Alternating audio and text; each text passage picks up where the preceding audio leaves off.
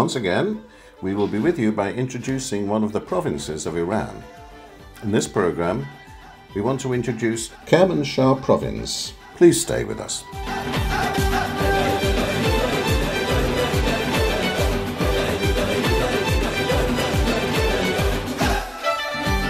Kermanshah province is one of the 31 provinces of Iran. The province was known from 1969 to 1986 as Kermanshah and from 1986 to 1995 as Bakhtaran. The province's capital is Kermanshah, located in the middle of the western part of Iran. The city is built on the slopes of Mount Sefid and was extended towards the south during the last two decades. The province has a rich Paleolithic heritage. Many caves with Paleolithic remains have been surveyed or excavated there. Some of these caves are located in Bisitun and north of Kermanshah. The first known physical remains of Neanderthal man in Iran were discovered in Bisitun cave. In May 2009, based on research conducted by the University of Hamadan and UCL, the head of the Archaeological Research Center of Iran's Cultural Heritage and Tourism Organization announced that the oldest prehistoric village in the Middle East, dating back to 9800 BC, was discovered in Sana, located in the west of Kermanshah. The monuments found in Kermanshah show two glorious periods, the Achaemenid and the Sassanid eras. It is the trade center of a rich agricultural region that produces grain, rice, vegetables, fruits, and oilseeds. And there are many industrial centres, oil and sugar refineries, cement, textile, and flour factories, etc. Darius the Great's Bisitun inscription. Darius the Great's inscription at Bisitun, which dates from 522 BCE, lies some 1300 metres high in the mountains and counts as one of the most famous sites in Near Eastern archaeology. The Bisitun inscription is a multilingual inscription and large rock relief on a cliff at Mount Bisitun in the Kermanshah province of Iran, established by Darius the Great, 522 to 486 BC. Authored by Darius the Great, sometime between his coronation as king of the Persian Empire in the summer of 522 BC and his death in the autumn of 486 BC, the inscription begins with a brief autobiography of Darius, including his ancestry and lineage. The inscription was illustrated by a life-sized bas-relief of Darius I the Great, holding a bow as a sign of kinship with his left foot on the chest of a figure lying on his back before him. The figure is reputed to be the pretender Gomata. Darius is attended to the left by two servants, and nine one meter figures stand to the right, with hands tied and rope around their necks, representing the conquered peoples. A Faravahar floats above, giving its blessing to the king.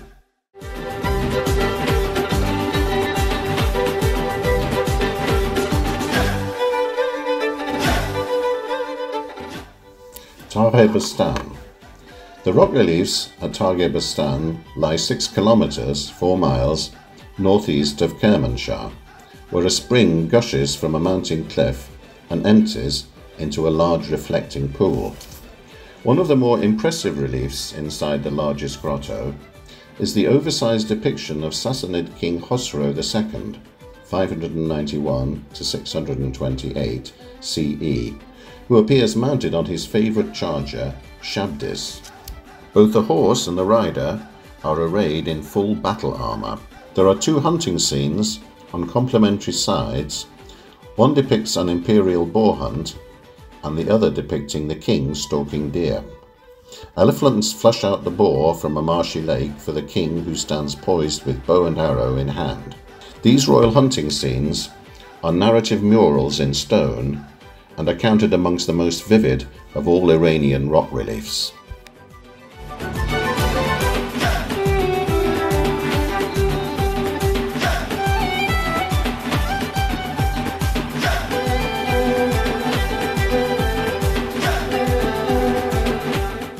Kangavar Archaeological Complex. Kangavar is the site of the archaeological remains of a vast Hellenic style edifice on a raised platform. The visible remains at the site date to early Sassanid times, but the platform of the complex may be several centuries older. By the time excavation began in 1968, the complex had been peremptorily associated with a comment by Isidore of Charax, who referred to the temple of Anahita at Concobar, the Greek name of Kangavar, which was then in Lower Media. Despite archaeological findings to the contrary, the association with the divinity of fertility, healing, and wisdom has made the site a popular tourist attraction. The vast edifice was built of enormous blocks of dressed stone with an imposing entrance of opposed staircases that may have been inspired by Apadana in Persepolis.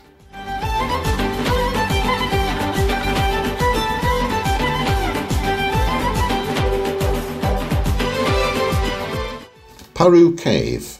Parau or Paru is the name of a cave at 3,050 meters height in the Paru mountain, which is located 12 meters from the northeast of Kermanshah city, among Taq-e Bostan mountain and Behistun mountain, and in the south of an area called Paru Square. It was the greatest vertical cave in the world at the time of its discovery, more than 40 years ago in 1971.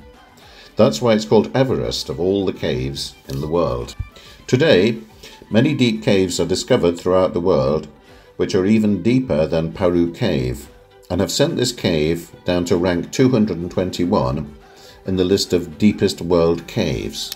One of the exquisite features of Paru Cave is its 3,000 metres height from sea level, which is the highest level from sea among all the caves in the world.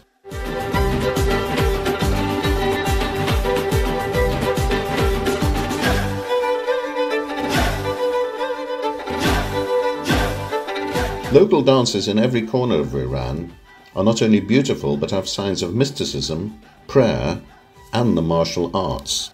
Kurdish music at first was epic and heroic.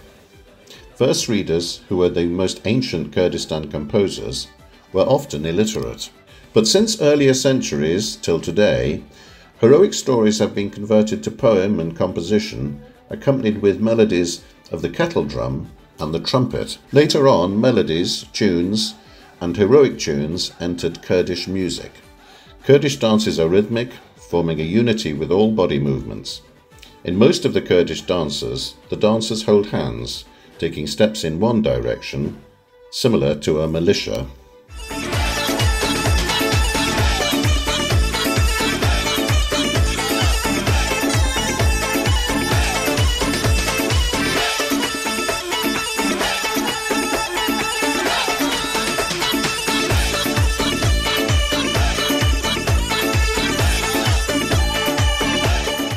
Local clothes in Kermanshah.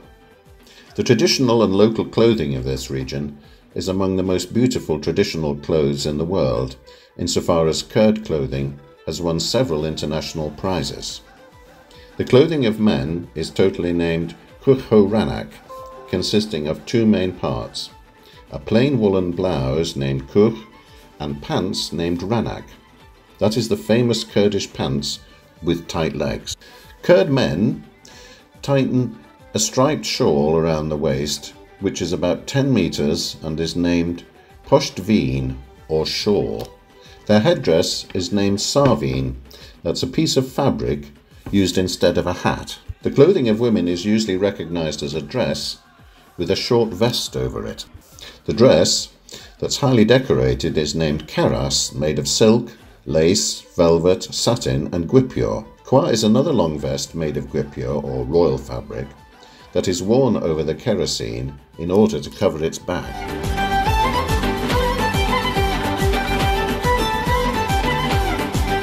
Khoresh-e Khalal Badam.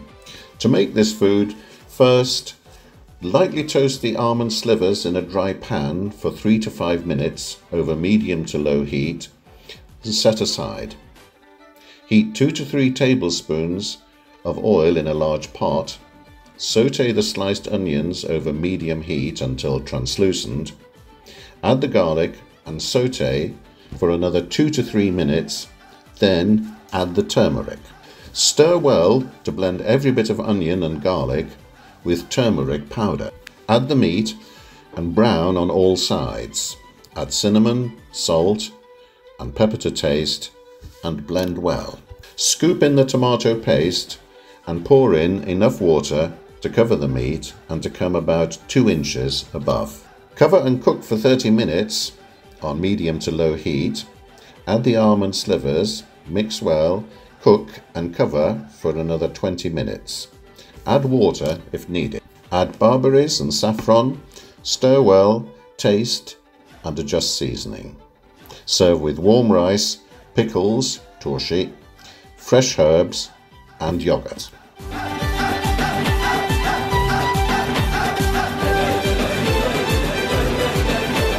Dande kebab.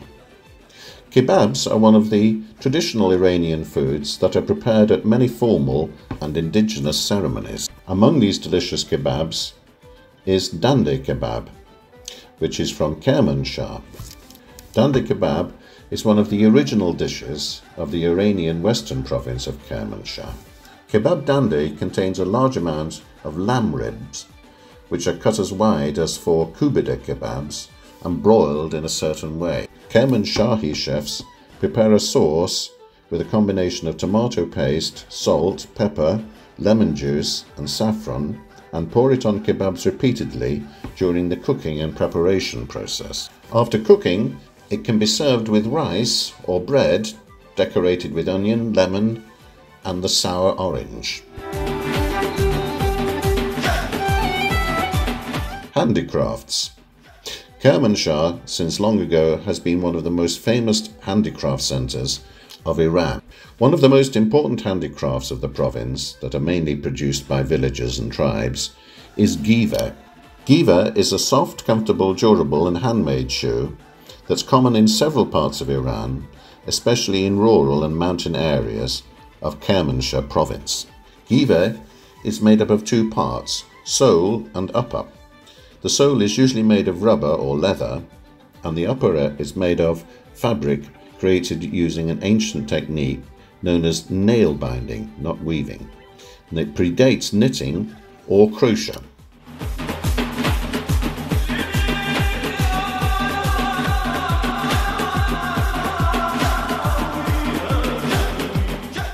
Naan Barenji.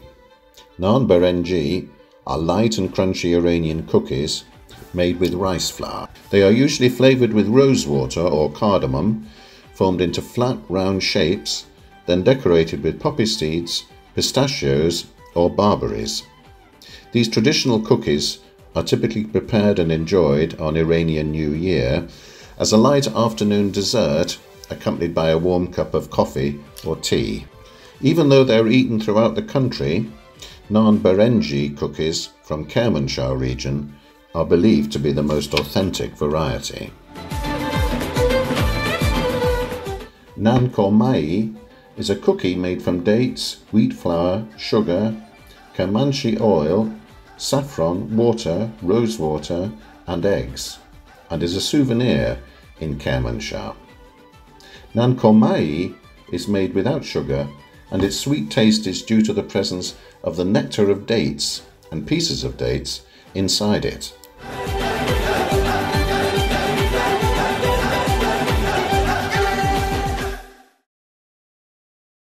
Two years ago, Iran's Kermanshah province was hit by a devastating earthquake which left hundreds dead and thousands injured. The earthquake also left tens of thousands of people without home or shelter. More than two years after the disaster, the people of Kermanshah are still reeling in its aftermath due to the Iranian regime's corrupt policies and its mismanagement of the country's most vital needs. One Iranian resistance unit has travelled to Zapol e Zahab and filmed a report on the conditions of the citizens of this small city, which was located in one of the areas that was hardest hit by the earthquake. As you can see, more than two years after the disastrous earthquake of Kermanshah, the people of Zapol e Zahab are still living in tents and makeshift trailers and are deprived of their most basic needs. The reporting resistance unit member says regime officials and authorities don't respond to the needs of the people. What should we do? Another video show houses that are still empty scaffoldings. This is the Fuladi section of Sarpol Zahab. These houses have been abandoned in this state because of the lack of funding, the reporter says. The government has refrained from sending relief efforts and engage in construction projects to rebuild the destroyed city. Many of the homes have not progressed any further than empty scaffolds because their owners can't afford to pay for the construction of their homes and the regime is doing nothing to help them. In another part of the city, the people are living in the Ahmad bin Ishaq cemetery out of desperation and lack of access to proper housing facilities. Videos show tents erected amidst the graves and the people of the city living in harsh conditions.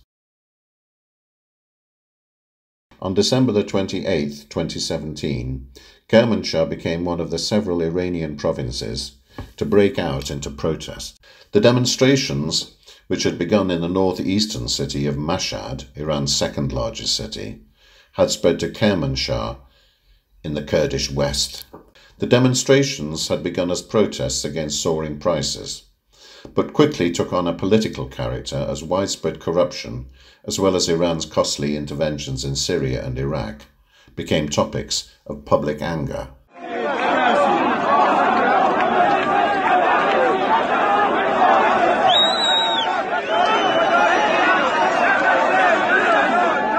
Thank you for staying with us. We hope you enjoyed watching this program and we will continue to be with you by introducing other provinces.